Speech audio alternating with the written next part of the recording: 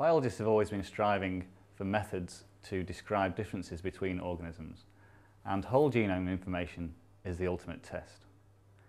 Having this information allows us to precisely describe the differences between two organisms and will tell us about their history and where they may have come from.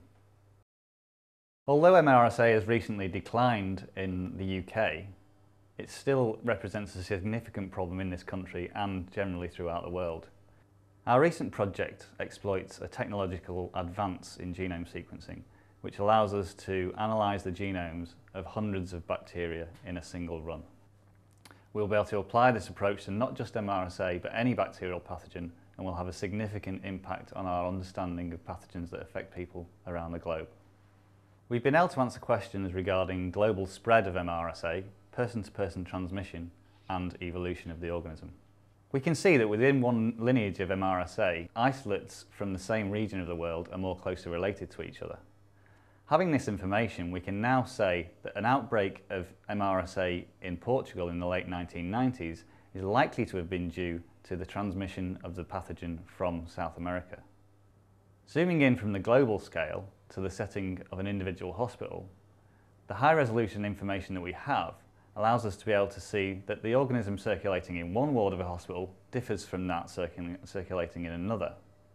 It will also allow us to be able to see the differences between isolates from individuals and may be able to tell us how the organism is transmitting from one individual to another.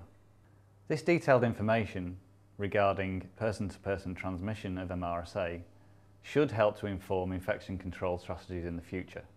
As well as looking at geographical differences, we can use this information to look at differences through time. We can say that this clone emerged in the mid-1960s, which correlates well with the introduction of the routine use of antibiotics in the clinical setting.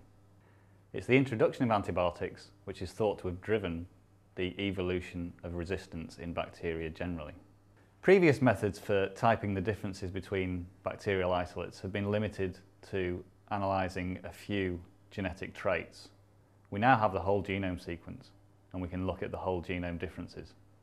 This is an exciting time in pathogen research. This project could not have been done a couple of years ago.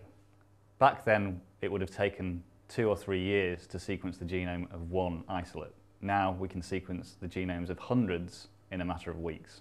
I believe that in the next few years, whole genome sequencing will begin to have a major impact on our understanding and control of infectious disease.